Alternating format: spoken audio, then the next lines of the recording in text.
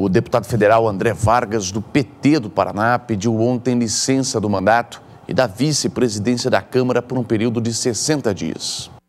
Segundo uma nota encaminhada pela assessoria, a licença será para preservar, antes de tudo, a instituição da qual faz parte, a Câmara dos Deputados.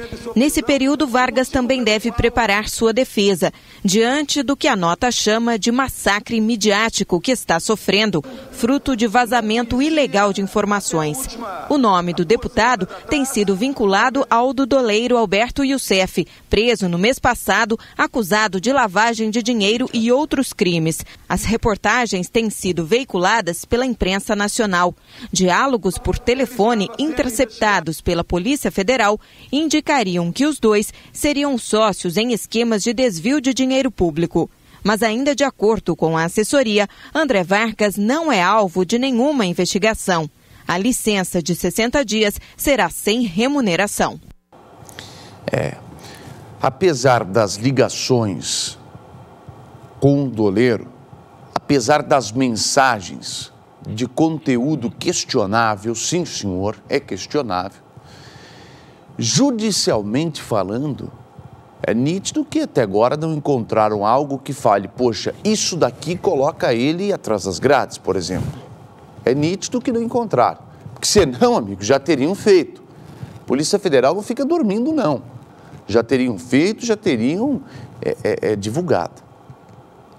O que está acontecendo é a, a divulgação é, homeopática de informações, de fatos que desgastam o, o, deputado André Vargas de uma tal forma que começou com um jatinho que era fácil de, de explicar, e daí vem outra coisa, e vem outra coisa, e vem outra coisa, e eu já te pergunto, e me pergunto também, será que é só isso ou será que tem mais alguma coisa? Então, o julgamento judicial, nitidamente, vai ficar, se tiver provas. Porque às vezes, gente, ah, pegou dinheiro, pegou dinheiro. O que, que você fez? Ah, fiz isso, fiz aquilo. Tá, mas da onde vem esse dinheiro? Entendeu? Da onde vem esse dinheiro? Do que, que eles estão falando? Fez isso, fez aquilo, o quê? Ah, tinha esquema de corrupção, mas com o quê? Então, isso daí, a falta desses, da, da, das respostas não deixam, não o condenam judicialmente. Mas, da maneira como está sendo feita, a condenação já vem politicamente. Tanto que ele já se licenciou e fala-se em renúncia para preservar o PT nas eleições. E vai vir chumbo grosso da oposição utilizando esse fato, principalmente nas eleições aqui do Paraná.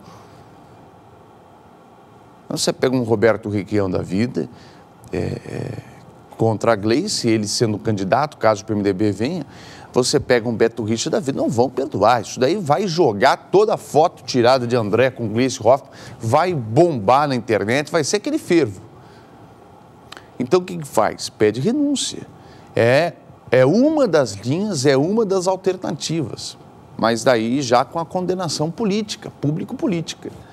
São duas condenações, judicial e política. A política já está acontecendo e eu acho que não termina por aí. Tem mais.